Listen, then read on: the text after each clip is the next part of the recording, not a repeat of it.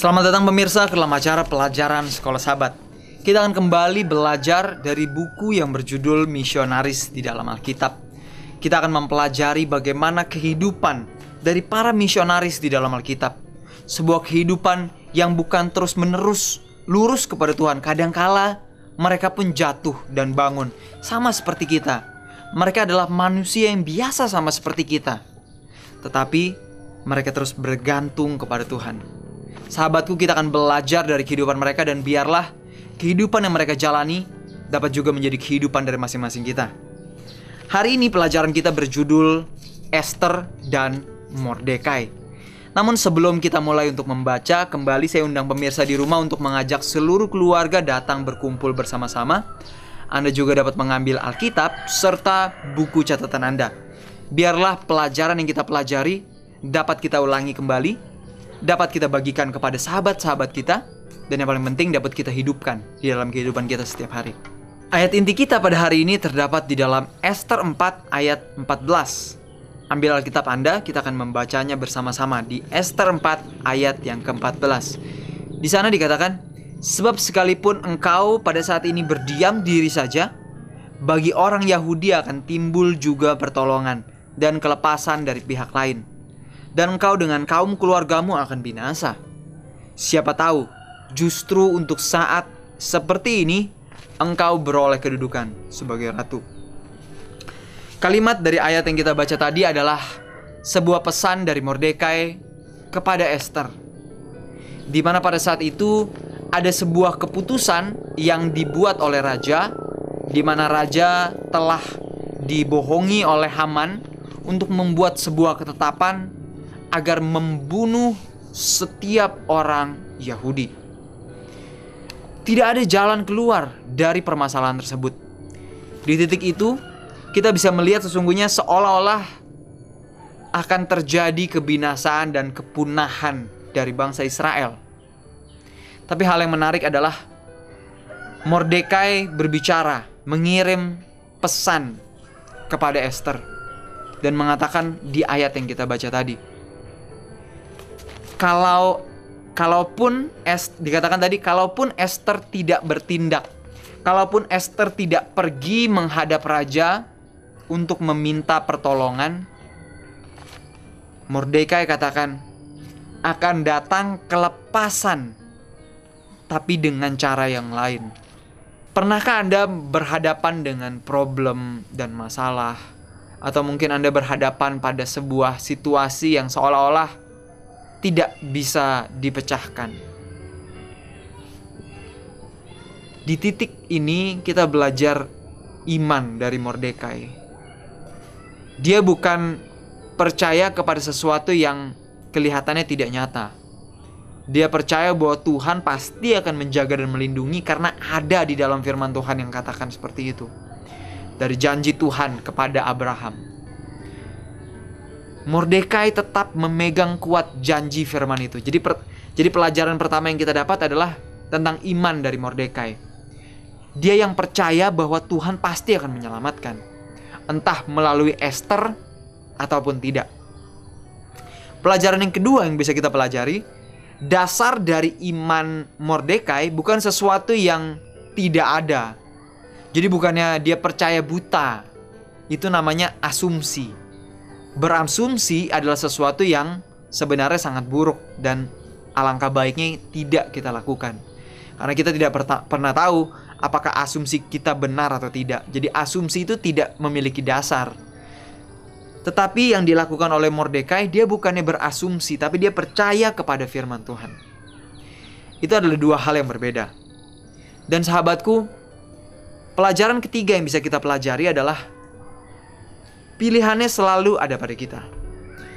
Di saat ada problem, di saat ada masalah, kembali seperti Mordekai, dia menunjukkan kepada Esther, Esther, kalau kamu tidak bertindak, nggak apa-apa, keselamatan tetap akan Tuhan berikan. Seringkali kita dihadapkan pada permasalahan, pada problem di tengah kehidupan kita. Seringkali kita lari dari masalah.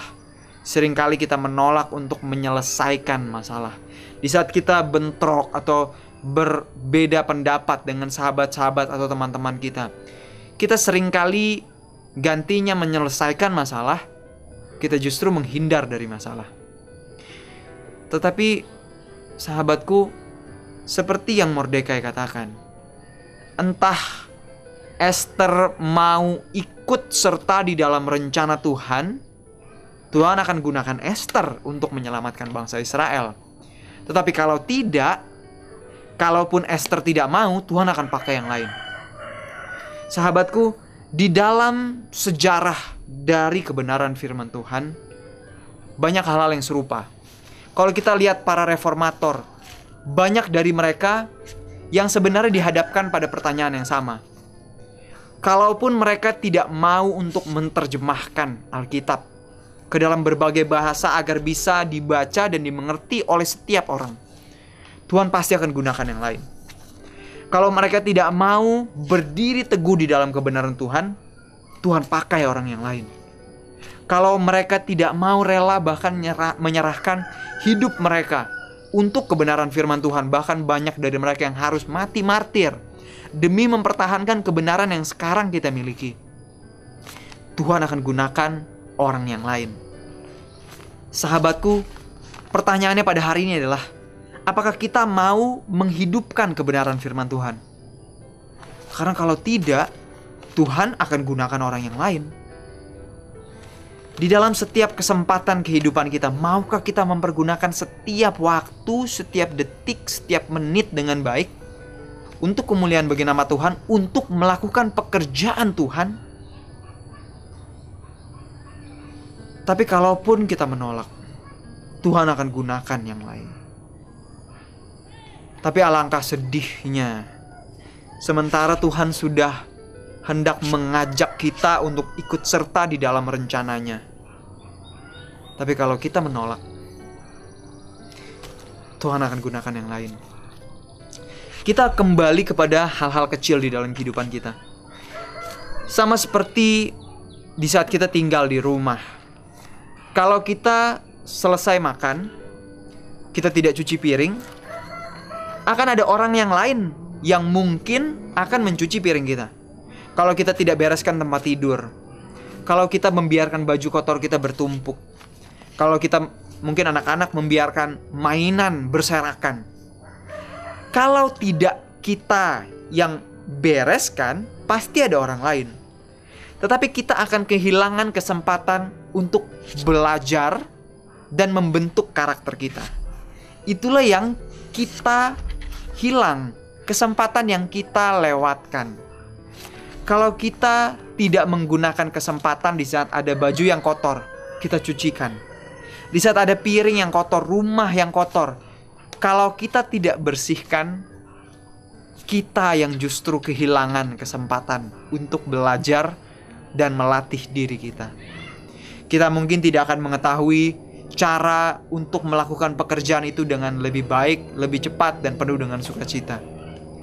Sahabatku, setiap hal yang kita lewatkan, setiap tanggung jawab yang tidak kita kerjakan, kitalah yang mendapatkan kekurangan tersebut kitalah yang pada akhirnya meninggalkan kesempatan yang Tuhan telah berikan. Jadi hari ini saya ngajak pemirsa untuk kembali berkomitmen di dalam kehidupan rumah tangga kita. Biarlah di dalam setiap tanggung jawab dan tugas-tugas bahkan yang paling kecil sekalipun, jangan pernah lewatkan. Karena kita akan kehilangan kesempatan itu. Sebagai orang tua, sahabatku mungkin banyak di zaman sekarang ini orang tua yang super sibuk yang mungkin kedua-duanya harus bekerja demi mendapatkan uang lebih banyak. Yang di dalam pikiran kita kita berpikir, oh kalau kita dua-duanya bekerja, mungkin kita bisa beli sesuatu yang lebih baik. Mungkin kita bisa membeli rumah sendiri, kendaraan sendiri dan lain-lain. Tapi sahabatku, apakah kita mau mengorbankan waktu bersama dengan keluarga, mengorbankan kesempatan di mana kita bisa mendidik dan mengajarkan anak-anak kita demi harta duniawi, demi uang atau mobil, selalu ada dua sisi yang ditawarkan. Yang satu yang ditawarkan oleh Tuhan, yang satu lagi adalah yang ditawarkan oleh setan. Jadi kalau kita lebih memilih untuk menggunakan waktu kita dengan yang lain, bukan dengan keluarga, bukan untuk mendidik mereka, melatih mereka. Sahabatku, kita sedang membuang kesempatan yang berharga. Hingga di saat beberapa tahun beranjak, anak-anak kita akan lebih akrab mungkin dengan pembantu mereka atau dengan orang yang lain ditimbang kepada kita. Di saat mereka menjadi anak-anak remaja, mereka tidak akan lagi menceritakan rahasia mereka, perjalanan hidup mereka kepada kita karena kita tidak pernah ada dari mereka masih kecil. Bayangkan betapa menyedihkannya kalau anak-anak kita lebih suka bercerita kepada orang lain daripada kepada kita, orang tuanya. Dan semuanya itu dimulai dari pilihan kecil kita untuk tidak menghabiskan waktu bersama dengan keluarga. Sahabatku, mari kita lanjut lagi dalam pembacaan kita. Esther, dia sudah biasa untuk menjalankan misi khusus dan posisi tinggi di dalam politik yang berbahaya di kerajaan Persia. Misinya melibatkan dia ke dalam sebuah rangkaian perbedaan yang mencolok. Seorang perempuan yatim, anggota etnis dan agama yang minoritas. Dia hidup di negara adik kuasa pada zamannya, menjadi istri dari Raja Persia. Ini bukan seperti kisah dongeng yang dipoles. Ia diangkat dari yang tidak dikenal. Jadi Esther diangkat dari orang yang sebenarnya tidak dikenal hanya sebagai budak buangan. Tetapi dia dipersiapkan untuk mengemban misi yang sangat khusus. Misi yang meminta dia untuk membawa sebuah siasat yang beresiko. Bahkan resikonya mungkin adalah kematian. Kemudian dia harus mengadakan pengakuan yang berbahaya tentang etniknya dan agamanya. Didukung oleh sepupunya yang juga adalah ayah angkatnya Mordekai Kesaksian yang berani di istana dari Raja Persia telah menyelamatkan bangsanya, mengembalikan status sosial mereka yang rendah, dan menjadikan mereka sebagai objek kekaguman dari kekaisaran. Tidak diragukan, sebagai hasil dari kesetiaannya, pengetahuan mengenai Tuhan yang benar telah meluas ke dalam kerajaan tersebut, di kerajaan yang kafir itu. Meskipun bukan kisah misionaris yang khas kita dengar, tetapi tuturan dari cerita Esther dan Mordekai mengemukakan sebuah prinsip yang menarik yang dapat membuat kita mengerti tentang situasi khusus ini. Sahabatku, Esther bukan saja dihadapkan pada situasi yang sulit pada saat itu, tetapi dia sesungguhnya telah dibentuk di dalam perjalanan kehidupannya Tuhan berusaha untuk membentuk karakternya untuk menjadi seorang ratu untuk bahkan digunakan Tuhan untuk menyelamatkan bangsa Israel. Dari kisah di dalam buku Esther, dia dibentuk bukannya menjadi seorang anak yang ceroboh, bukan menjadi seorang anak wanita yang sombong karena kecantikannya dan lain-lain.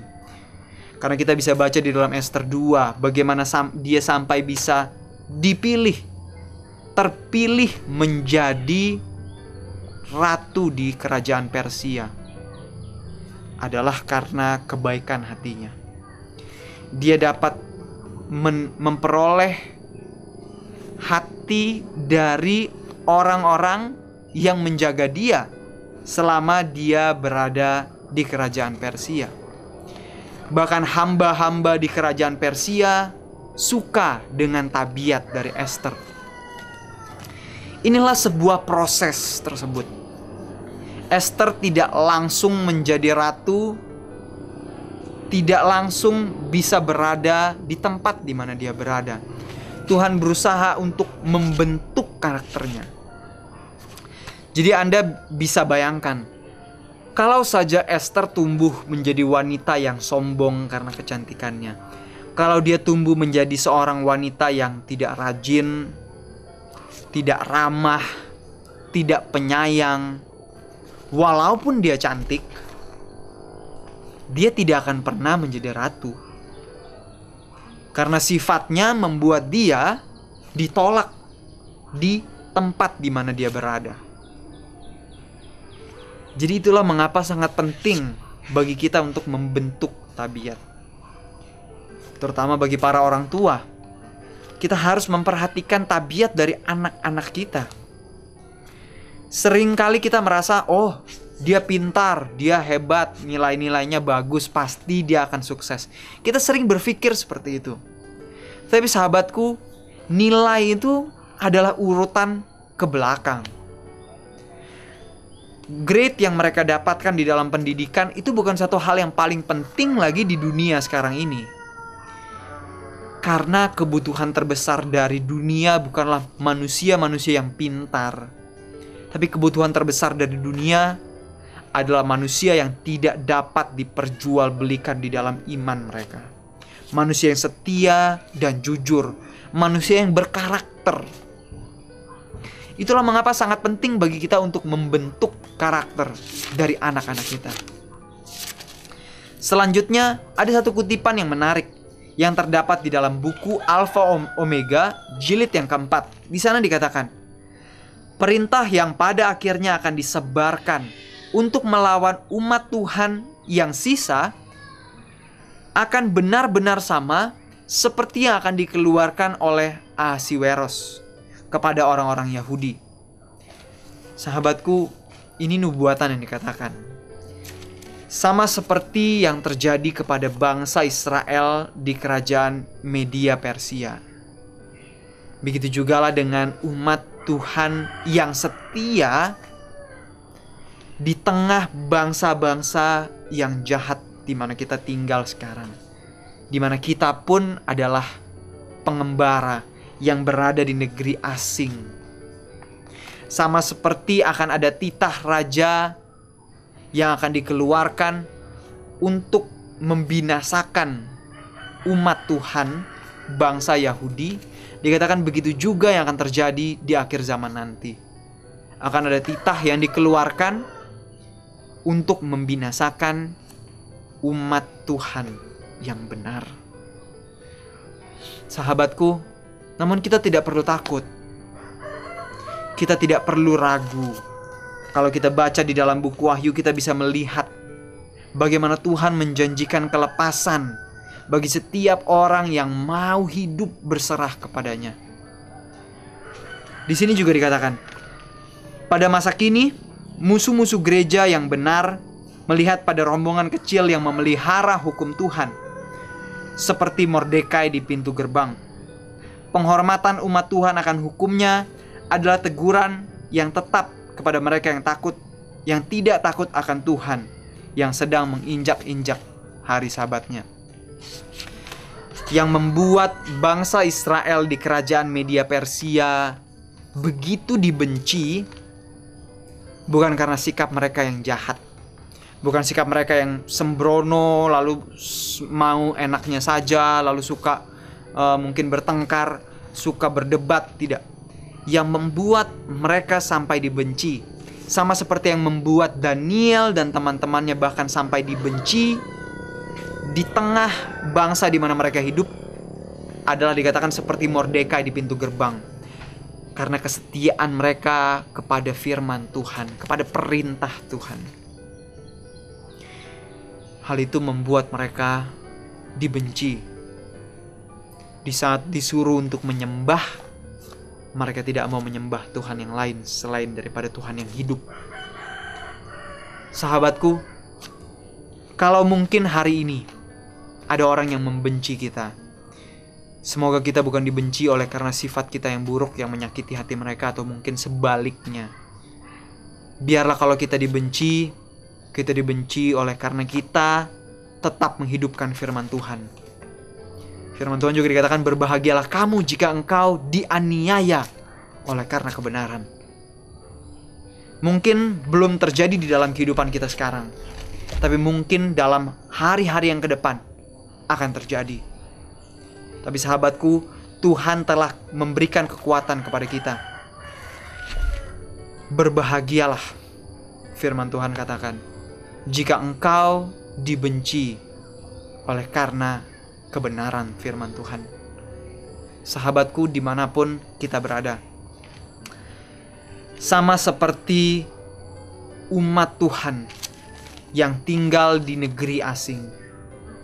Mereka bangsa kafir itu pada akhirnya bisa mengenal kebenaran Tuhan oleh karena cara hidup dari umat Tuhan di sana. Oleh karena tindakan mereka, kata-kata mereka, perbuatan mereka, bahkan oleh karena penganiayaan yang mereka dapatkan. Kadangkala mungkin sakit penyakit kita, problem kita, masalah kita yang menimpa kehidupan kita oleh karena kita memegang teguh kebenaran. Kita tidak pernah ketahui, tetapi pasti itu juga adalah cara Tuhan untuk memperkenalkan kebenarannya, memperkenalkan kasihnya kepada orang-orang yang belum mengenal akan kebenaran. Itu adalah satu hal yang mungkin dapat membuat kita bisa tetap teguh di tengah problem dan masalah yang kita hadapi. Tetap setia di dalam kebenaran Tuhan. Sampai di sini pelajaran sekolah sahabat kita pada hari ini mengenai kehidupan dari Esther dan Mordekai. Sampai bertemu lagi. Tuhan memberkati dan Maranatha.